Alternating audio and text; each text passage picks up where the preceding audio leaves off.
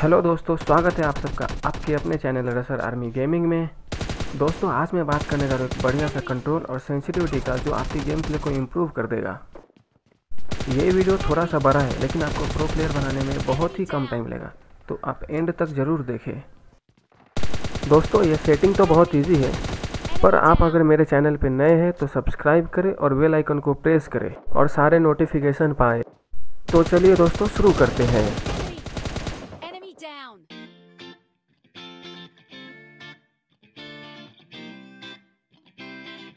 पहले हम बात करेंगे बेसिक सेटिंग का, जहाँ पे आपको मिल जाएँगे बहुत सारे बटन्स तो हम पहले एम असिस्ट को देखेंगे। तो अगर आप एम क्लोज करके खेलते हो तो आपका जल्दी ही एम इम्प्रूव होगा और आप एक अच्छे से प्लेयर बन सकते हो।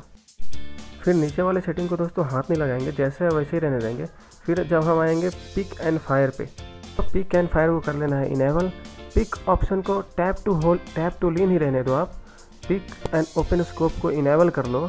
फिर आप स्कोप मोड को मिक्स पे रखो। ये सबसे बढ़िया है। देन आप सबसे इम्पोर्टेंट आता है इसमें गायरोस्कोप का।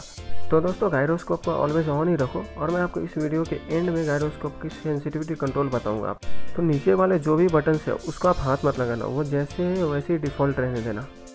दोस्तों, अब हम बात करेंगे फोर फिंगर कंट्रोल की। यह कंट्रोल बहुत ही आसान है। आप आसानी से इसे कर लोगे और जल्दी ही इस पर अडेप्ट भी हो जाओगे। तो दोस्तों देखते जाओ आप मैं कैसे कैसे कर रहा हूँ। ये आप बहुत ही आसानी से कर लोगे। दोस्तों लेफ़्ट फायर बटन को ऊपर लेना है और थोड़ा सा बड़ा कर देना है और उसका ट्रांसपेरेंसी कम कर लो आप। फिर नेम लिस्ट को नीचे कर लो और छोटा कर लेना। तो ड्राइव और एग्जिट बटन को दोनों एक साथ ही रखो। ये दोनों आपके गेम प्ले में कभी भी एक साथ नहीं आएँगे। इससे आपके स्क्रीन पे स्पेस भी बचेगा।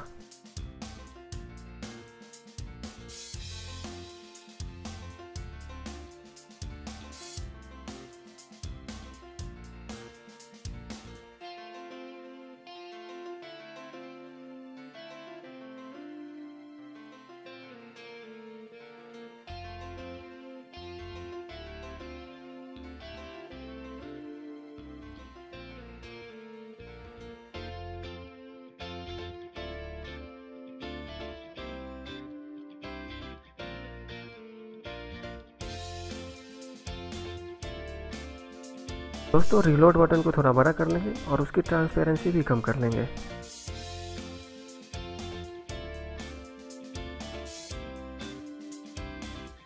फिर क्राउच बटन को एडजस्ट कर लेंगे, उसकी साइज़ बड़ा करेंगे, उसकी ट्रांसपेरेंसी भी कम कर लेंगे। दोस्तों, देखो मैं कैसे करता हूँ, आप भी कर लो वैसा ही।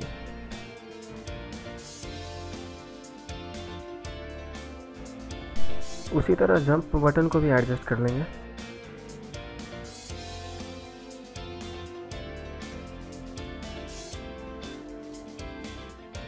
स्कोप बटन को ऊपर ले लेंगे ताकि वो फोर फिंगर के लिए आसान हो जाए।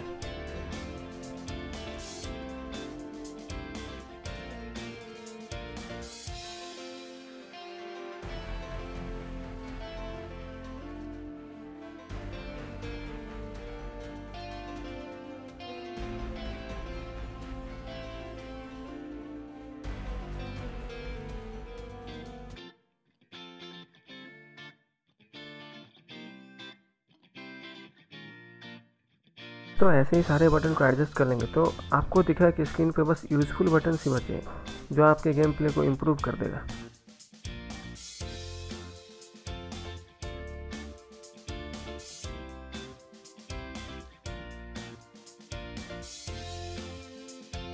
दोस्तों बैग वाले बटन को हम राइट साइड में रखेंगे। ये बहुत ही यूज़फुल है राइट साइड में अगर हम रखें तो भागते हुए भी अपने जो सामान है एक्स्ट्रा जो सामान है, उसको ड्रॉप कर सकते हैं।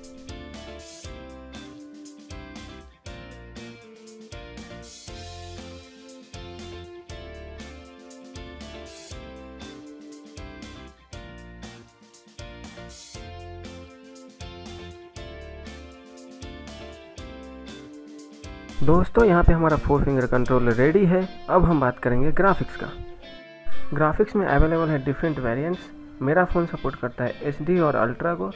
आपका फ़ोन जो सपोर्ट करे, उसी पे चलाइए, ताकि आपका गेम प्ले चॉपी ना हो।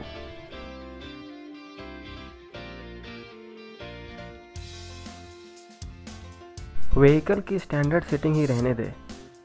दोस्तों, अब मैं बात करने जा रहा हूँ इम्पोर्टेंट सेटिंग की। नहीं नहीं, बहुत ही इम्पोर्टेंट सेटिंग की। जिस पे अगर आपका कंट्रोल हो तो आप एक प्रो प्लेयर बन जाओगे। दोस्तों अगर आप सेंसिटिविटी जानते हो और गा, एक गायरो प्लेयर हो तो आप बहुत ही जल्द एक प्रो प्लेयर बन जाओगे।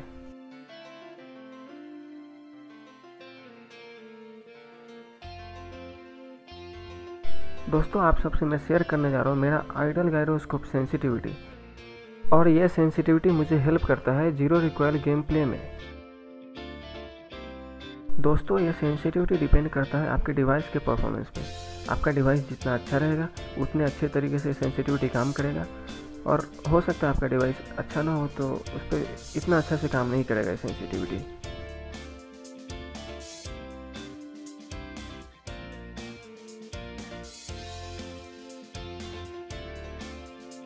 तो दोस्तों, मैंने गाइडोस्कोप का सेंसिटिविटी सेट कर लिया है। अब आगे बढ़ेंगे एडीएस पे। पहले हम बात कर लेते हैं एडीएस क्या होता है। एडीएस मतलब एम डाउन साइट यह सेंसिटिविटी तभी काम आता है जब आपके हाथ में गन हो या आप स्कोप ओपन करते हो, उसमें नो स्कोप हो या फिर कोई भी स्कोप हो। अगर आप आइडल सेंसिटिविटी निकाल लेते हो तो आप एक में फोरेक्स लगाकर भी फायर करोगे तो आपका एम नहीं हिलेगा।